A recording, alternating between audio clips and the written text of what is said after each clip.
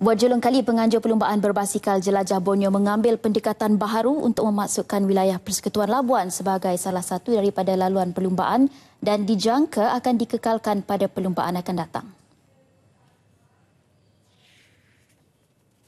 Pengerusi penganjur jelajah Borneo, Datuk Freddy Suam menjelaskan keputusan untuk membawa wilayah Persekutuan Labuan sebagai salah satu daripada ahli keluarga bagi jelajah ini kerana lokasi negeri itu yang berdekatan dengan Sabah.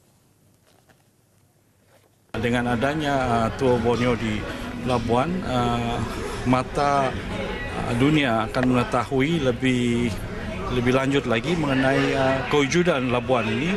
Uh, bukan saja tempat uh, industri uh, gas dan minyak tetapi juga ialah Labuan ini memiliki banyak tempat-tempat yang uh, pelancongan yang mana boleh kita market ke luar negara untuk uh, pembangunan pelancongan di negeri uh, Sabah melalui Labuan itu sendiri.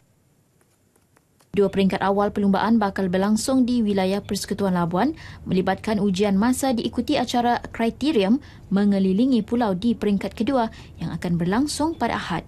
Datuk Freddy Sua terlebih dahulu merasmikan majlis memperkenalkan semua pasukan yang mengambil bahagian dalam jelajah Borneo edisi ketiga semalam.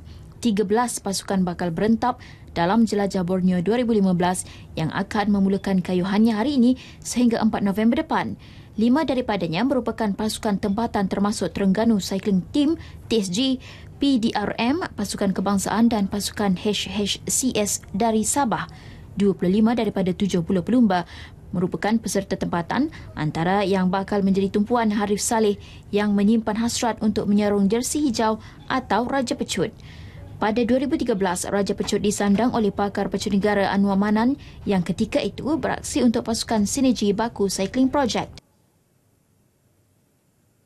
saya tengok edisi ni daripada tim luar negara pun datang rider pun kuat-kuat lah bukannya orang calang-calang orang. Pasal saya pun baru balik daripada tu of Hanang. Dan ada satu tim tu dan dia pun macam ke fight juga dengan saya di tu of Hanang itu jadi dia pun datang terus macam saya datang untuk race ni. Saya, saya rasa memang betul-betul mencabar race ni ini merupakan penyertaan ketiga Harif Saleh dalam jelajah Borneo sejak ia diperkenalkan buat pertama kali pada 2012.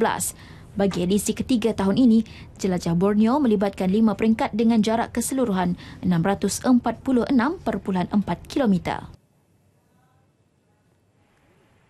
Dalam perkembangan berasingan, Datuk Freddy Sua juga mengesahkan perlumbaan jelajah Borneo edisi ketiga akan berlangsung mengikut undang-undang yang telah ditetapkan oleh Badan Induk Berbasikal Antarabangsa UCI termasuk mengadakan ujian doping. Jelajah Borneo 2013, pihak penganjur tidak membawa seorang wakil untuk ujian doping ke atas pelumba-pelumba yang bertanding. Memangnya pada tahun 2013 bila kita diberi kebenaran untuk mengadakan uh, tour itu uh, anti doping itu tidaklah dimasukkan dalam syarat uh, untuk uh, penganjuran. Tapi pada kali ini anti doping itu adalah salah satu syaratnya. Jadi uh, bagi kita kita uh, di bawah naungan penganjuran UCI dan PKBM jadi kita penuhi syarat itu dan pada tahun ini syukur kita ada anti doping. Pelumba Terengganu Cycling Team TSG Muhammad Harif Salim mengharapkan pihak yang bertanggungjawab menyelesaikan tunggakan pembayaran wang kemenangan jelajah Borneo 2013 dengan segera.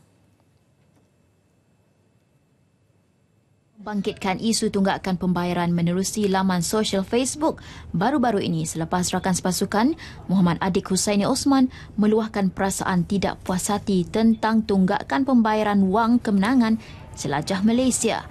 Harif nyata kecewa dengan tindakan sambil lewa pihak penganjur jelajah Borneo yang seakan-akan tidak memandang serius tentang perkara ini kena ambil serius lah mana pergi duit tu semua.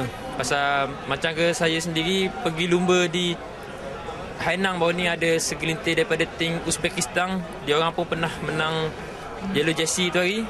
Dia masih stay tanya macam pergi duit tu dia orang pun tak dapat. Sedangkan dia duit tu lagi banyak pasal dia menang Yellow Jersey kan. Jadi dia orang pun tak dapat. Jadi macam jadi macam saya pun nak jawab pun jadi tak sedap dengan tim luar. Perkara ini kami panjangkan kepada pengurusi penganjur jelajah Borneo Datuk Freddy Sua. Beliau mengakui pelumba-pelumba yang terlibat pada jelajah Borneo 2013 bertanyakan tentang hadiah kemenangan yang masih belum diterima sehingga kini. Uh, wang uh, hadiah itu sebenarnya telah kita uh, uh, beri kepada pihak tertentu yang sepatutnya uh, mengagihkan uh, hadiah-hadiah tersebut.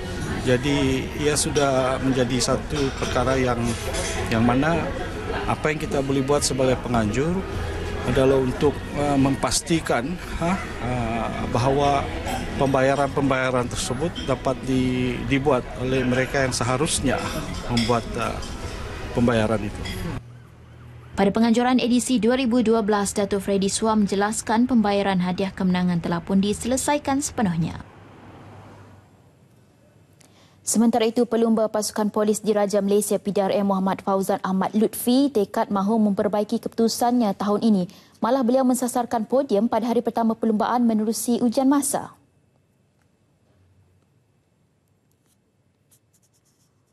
Fauzan menamatkan perlumbaan jelajah Borneo 2013 di tempat ke-21 dalam kategori kedudukan pelumba keseluruhan sekaligus dinobat selaku pelumba terbaik Malaysia. Bagi Fauzan, saingan tampak tidak seperti 2013 di mana perlumbaan lebih didominasi pelumba pasukan berstatus benua dari Iran, Tabriz Petrochemical. Namun beliau tidak memandang rendah dengan kemampuan pelumba-pelumba luar yang mengambil bahagian di jelajah Borneo tahun ini.